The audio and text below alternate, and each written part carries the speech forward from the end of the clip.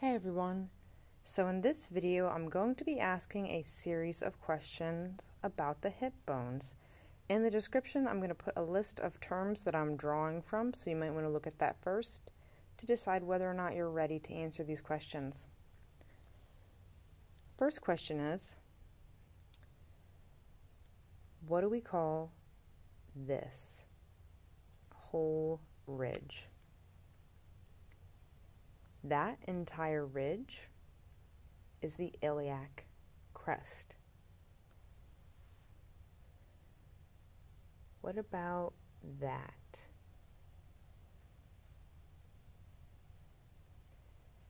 So the bump on the edge of the iliac crest is the anterior superior iliac spine.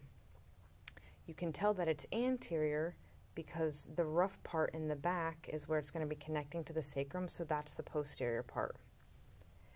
So if this is the anterior superior iliac spine, right below it is the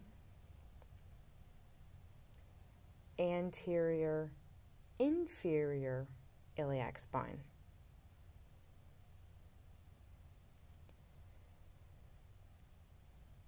What do we call this entire scooped out area.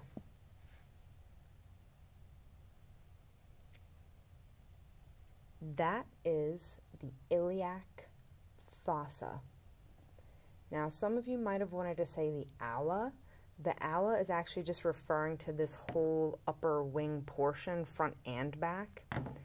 Um, so the whole upper front and back. But if you're just asking about the anterior portion, that's like a scoop, that's the iliac fossa. What do we call this? That is the auricular surface.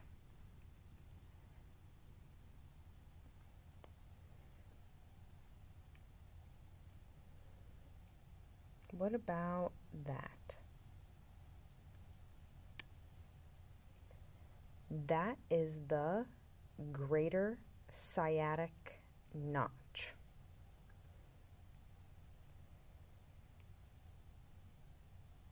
If that's the greater sciatic notch, what's this? It is the lesser sciatic notch. What about what is the point in between the two sciatic notches? So that point is called the ischial spine.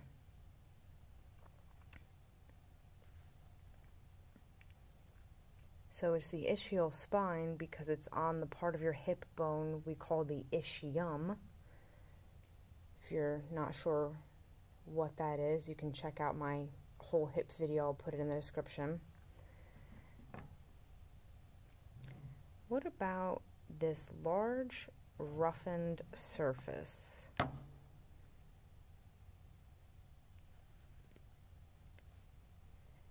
So that roughened surface is the ischial tuberosity.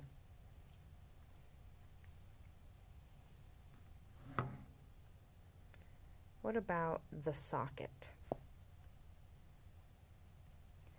The socket is the acetabulum. Another pronunciation would be the acetabellum. I like acetabulum.